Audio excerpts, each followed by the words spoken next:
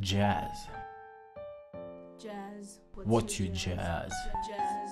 Tell me about your jazz.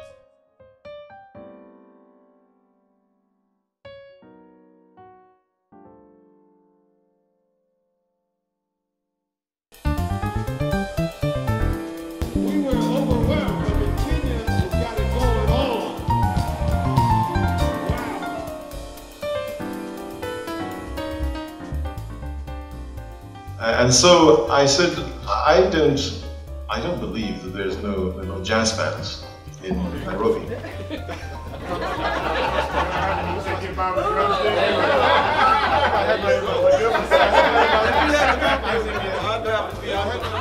There's always been a jazz fan base in Kenya. The consumer has always been there. But the product, the jazz product, has, has not. It, we've never matched those two. Jazz has steadily gained acceptance in Kenya, from the privileged few to a massive crowd of dedicated fans, with weekly jazz shows on radio and live jazz performances in selected hotels, clubs, and restaurants. This artistic instrumental genre of music has made its mark.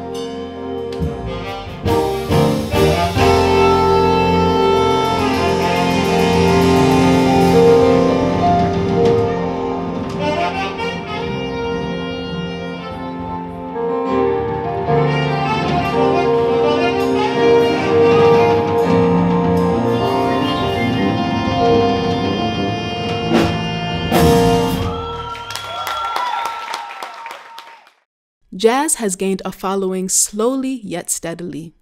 This exponential growth has meant one thing demand.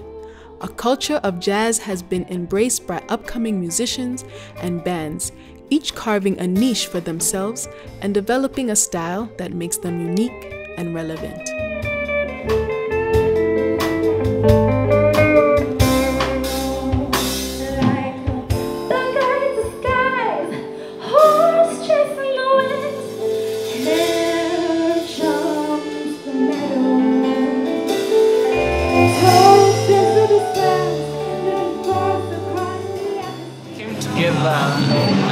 Most played in the teens band at Sitan Valley. So that's where we grew from when we finished school, which was 2013.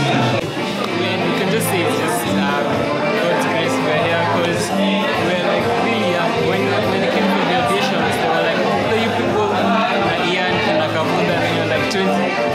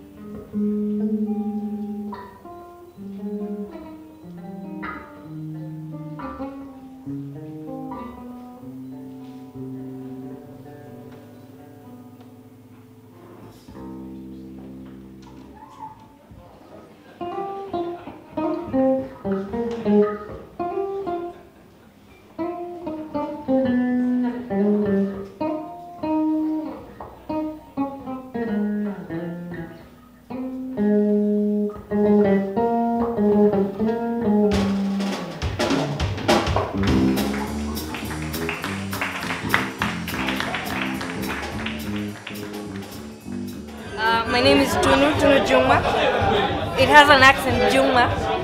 Um, I play bass guitar. I've been playing for about two years. I started playing in 2013 after I finished high school. My brother started teaching me with it. I love my brother so much. Shout out to God. Uh, he's younger than me, he's 16. Uh, my father plays guitar, he plays bass. So he would always listen to jazz in the house. Growing up, we lived in a very small house. So like, on the other side, uh, on the other side of the house, we had a computer, and then on this side we had TV. Music was always playing, was always playing, you know. Like even when we were watching TV, he's listening to Norman Brown or George Benson, Earl Klugh, you know those guys. So you just pick up on it. And we had instruments in the house as well.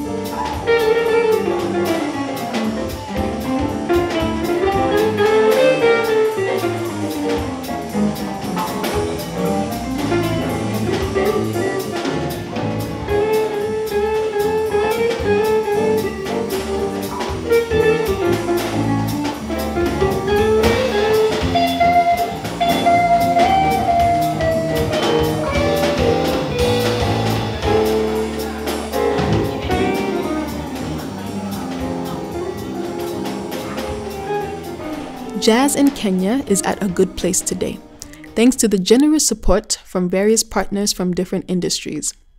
The Safaricom Jazz Festival has given jazz lovers in Kenya a platform to enjoy and appreciate the beauty of jazz.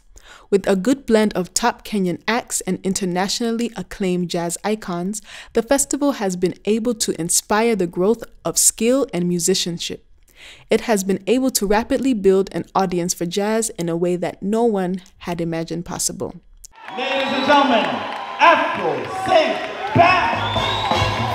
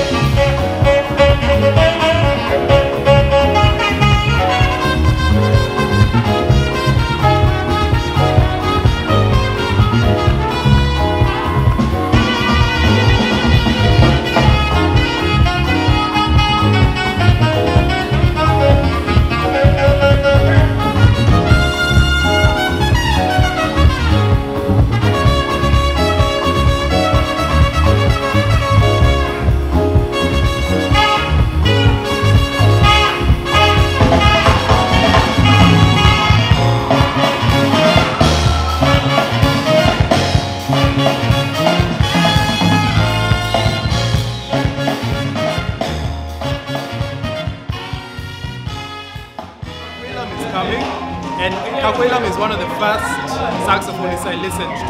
Uh, his album, The Gospel According to Jazz, that's what started me off on this whole jazz journey. So I am ecstatic. I've been on his Instagram every day saying, I can't wait for you to come to Kenya, I can't wait for you to come. He hasn't replied or anything yet, but uh, I'm hopeful.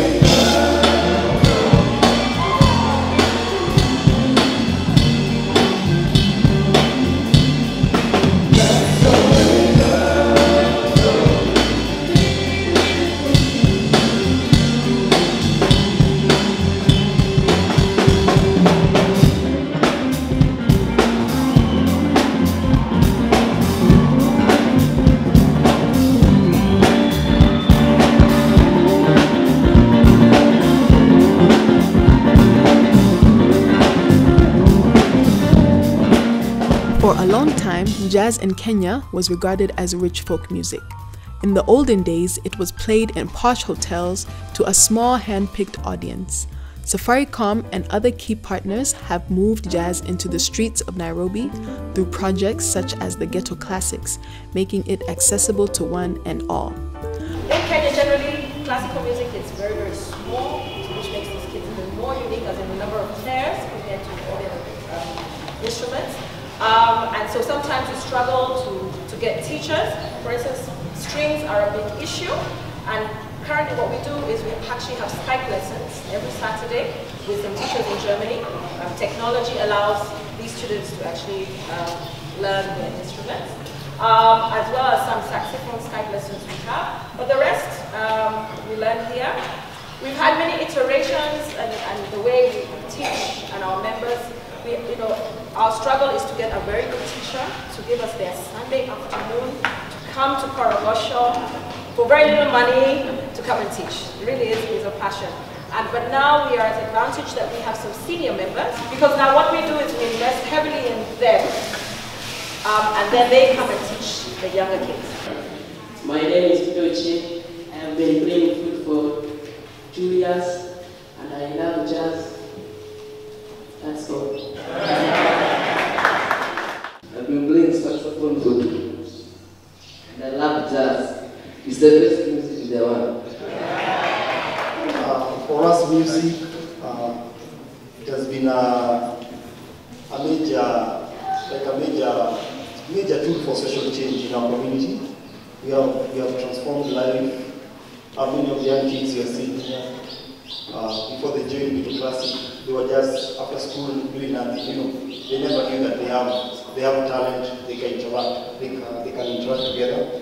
And also, uh, Jazz Festival coming into our community, it has helped us to increase the number of the players. Before the Jazz Festival, the number was very, was quite smaller.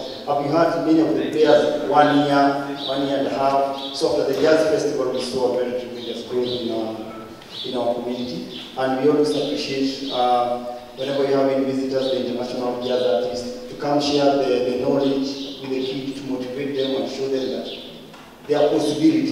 Just keep on working.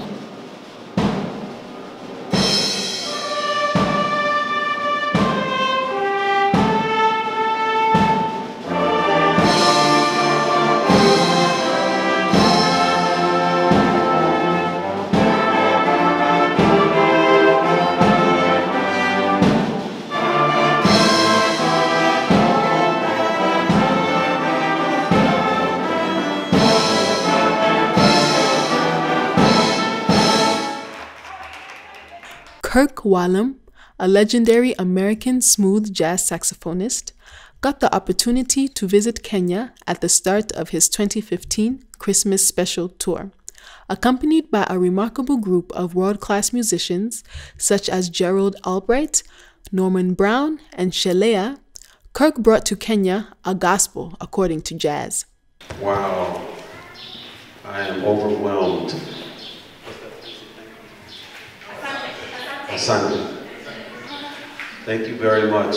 Um, this is just so wonderful. And there are no words, not in any language, to express how incredible you are. You have already inspired us to play music, you know, better. Um, my name is Kirk Whalum, and I have been playing the saxophone. How you saxophone? And the flute. I play the flute as well, high flute. And I play the clarinet, not very well, not as good as you. I have been playing the saxophone for 45 years, 43 years, 43 years, 43 years. And um, I still practice a lot because you never learn all there is to know about any instrument. And when you love to do it, you don't mind doing it for 40, 50, 60 years, right? I bet you will be still practicing in 60 years, won't you? You guys are amazing. Um, I was expecting for everyone to say you have been playing for maybe five years, 10 years, 15 years. When I started hearing almost a year, I was like, okay, gotta get to work. but uh, I just want to reiterate everything that's already been said. We're, I mean, we we, we felt welcome since we arrived, and uh, just uh, we're, we're just so inspired with, by what you're doing.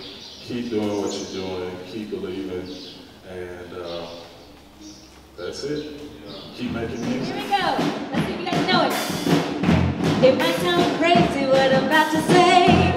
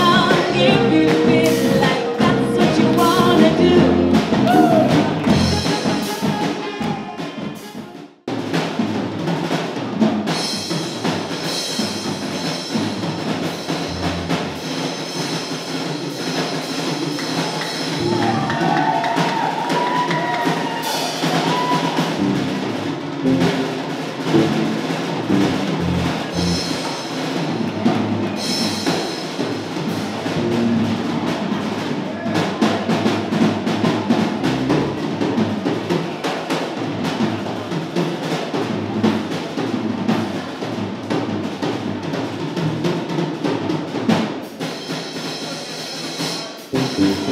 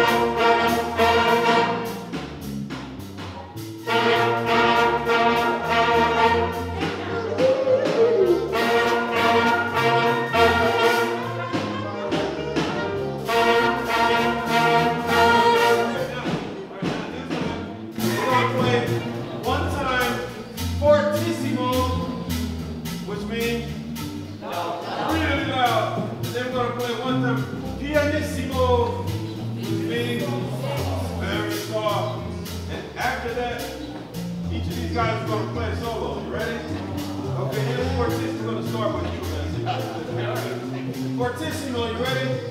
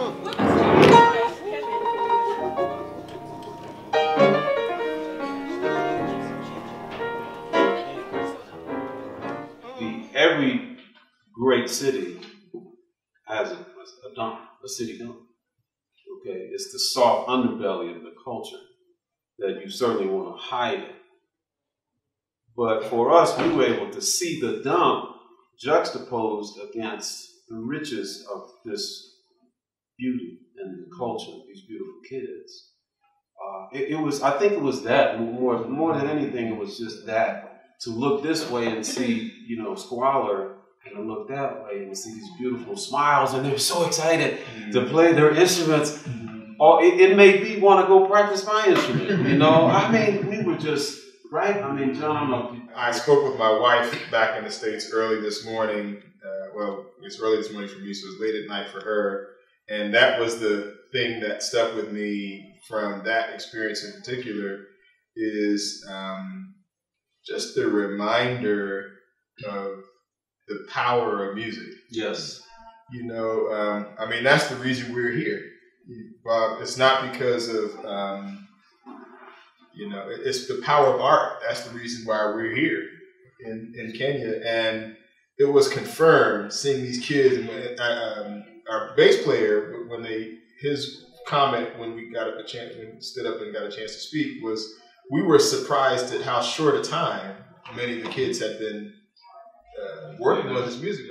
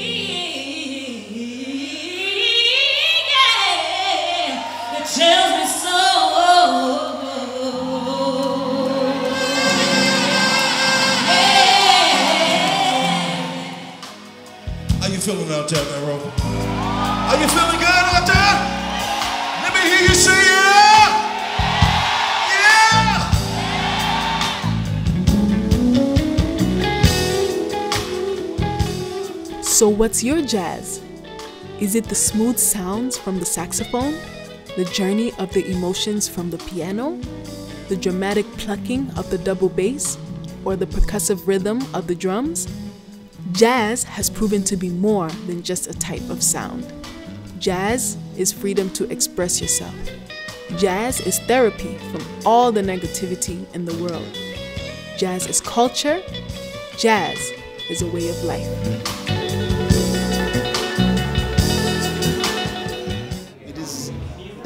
Interesting because now people will come who know nothing about jazz.